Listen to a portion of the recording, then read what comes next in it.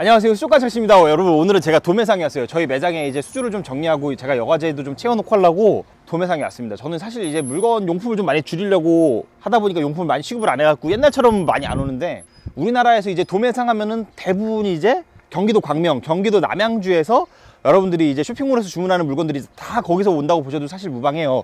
그 정도로 굉장히 규모가 큰데 이것도 그런 곳 중 하나예요. 여기 보면 경기도 광명시 보면은 화해단지라고 하거든요. 여기가 지금 이 주소지는 노원사동 631번지 수배상사라는 곳에 와 있는데 여 뒤에 광명IC 앞으로 쭉 와갖고 돌면은 여기가 이제 생물 단지도 있고 다른 용품 수입상들도 있고 굉장히 많아요. 근데 이제 저는 요거 이곳을 이용하는데 아저 한번 들어가 볼게요. 아마 도매상 얘기는 제가 늘 했었고 여기 사장님이 저랑은 좀 사이가 막역한 게 이분도 원래 용품에서 다니시다가 나와서 여기를 창업을 하셨고 저도 이제 멀쩡하게 회사 다니다가 나와서 수족관을 차리면서 처음 만났어요. 둘 다 이제 창업할 때 아마 이분도 제가 첫 손님이었고 저도 제 첫 거래처였거든요. 아무튼 그래서 지금 인연이 이렇게까지 이어왔는데 아무튼 한번 들어가 보겠습니다. 여러분 들어올 때부터 뭔가 수족관 느낌이 하나도 안 나죠?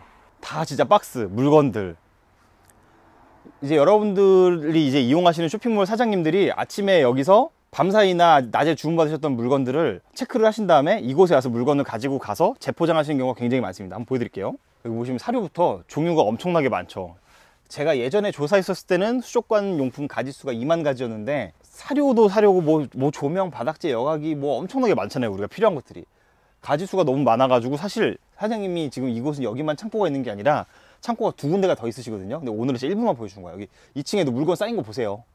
물건 꺼내달라면 여기서 박스로 내리는 거야. 근데 이제 수족관 사장님들이 이제 업태가 다양하다 보니까 저처럼 박스로 가져가는 사람이 있는가 하면은 낱개로 예를 들어서 이런 거 하나 가져간다고 해도 낱개로도 도매를 해주시거든요 여기는 근데 요즘 다 트렌드가 그런 것 같아요 이게 다 왜냐면 가지수를 막 많이 받아놓고 할 수가 없으니 다 그런 걸 좀 배려를 해주시는 것 같습니다 물론 가격적인 건 좀 약간 차이가 있겠지만 아 보면 일단 여기가 보면은 여기 있는 게 다 이제 뭐 부화통 여과기 측면 여과기만 지금 이만큼 있는 거야. 엄청나게 많죠. 그래서 제가 이게 저는 이런 걸 다 쌓아놓고 장사할 자신이 없기 때문에 용품을 줄이는 것도 굉장히 커요. 뭐 마진도 마진인데 이렇게 다 갖다 놓고 할 능력이 안 되는 거죠 제가. 와 진짜 아찔해요. 이거 제가 지금 수족관을 7년째 운영을 하면서도 여기 있는 물건들을 아직 한 번도 이렇게 보지도 못한 물건들이 아직도 있고 그런 물건들이 계속 새로 들어오고 있거든요 보면 막 거리식 여과기 측면 여과기 그냥 막 브랜드도 브랜드인데 와트 수마다 또 사이즈가 또 다 다르잖아요 이것도 구색을 갖춰놓고 팔아야 되는 것도 있어서 굉장히 용품 장사가 제가 그런 면에서는 힘들다. 그러니까 이분들이 물고기랑은 사실 거리가 멀어요. 그냥 진짜로 하루 종일 하시는 일이 박스 정리하고 거래처 오면 물건 빼주고 이런 부분을 하는 거거든요. 근데 보면은 와, 진짜 이게 조명 아, 이런 파이시즈 조명 이거 진짜 명품인데 새로 나온 건 아직 한 번도 써보지도 못했어. 이거 한번 리뷰해보고 싶은데 VG 이런 것도 좋죠. 아쿠아스 거 메탈라이트 이런 것도 완전 띵품이고 진짜 아, 한번 써보고 싶은 조명들이 많은데 저도 아직 기회가 없어서 못 써본 물건들이 굉장히 많습니다. 아, 여러분 보세요. 지금 이게 다 히터예요, 히터. 히터 조명 브랜드, 아, 히터 와트수마다 다 사이즈별로 있는 거고 브랜드가 또 이렇게 많아.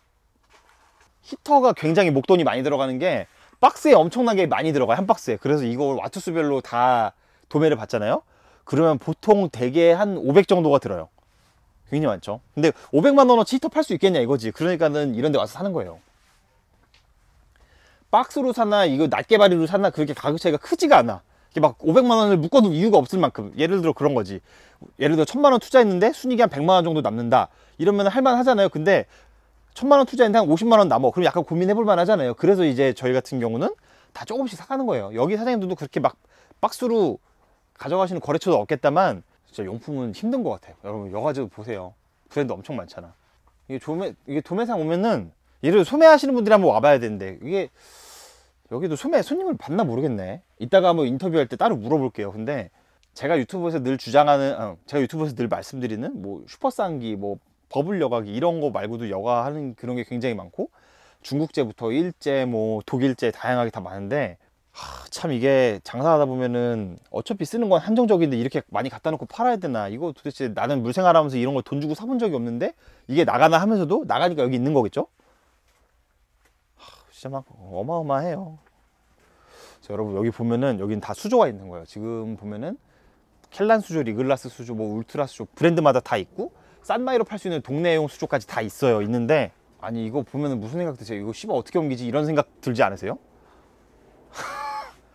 제가 지금 여기 저절로 나온 게 45큐브 하루에 한 100대 정도 옮기잖아요. 그러면은 사람 고장나요. 한 3일 쉬어야 돼.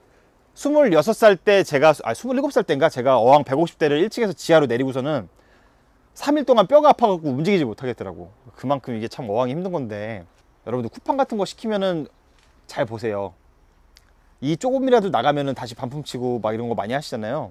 저는 이런 게 좀 많이 돼야 된다고 생각해요. 이게 참, 내 솔직하게 말하면은 손님들 입장에서 싸게 사면 당연히 좋아. 좋은 거 맞는데 마진 안 붙이고서는 계속 싸게 하시는 분들이 배송 가다가 사고 나가지고 한번 이게 내가 이렇게 장사하면 적자가 나고 우리 다 죽자 이런 거를 아셔야 좀 이게 뭔가 이 어항 놓고 이런 걸 소중함을 알지 않나 이런 생각도 좀 많이 해봐요. 진짜로 많이 해.